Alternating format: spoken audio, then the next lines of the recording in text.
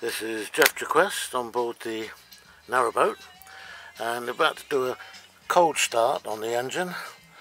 Uh, so I'm sure you'll hear it all start up any second now so when you're ready Tony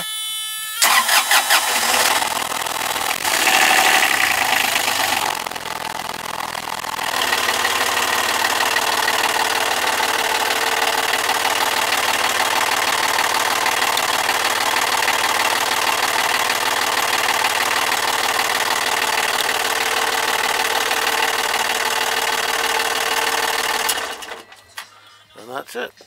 A very sound and trustworthy Kubota which is normally called a Nanni now that um, 100% many thanks for watching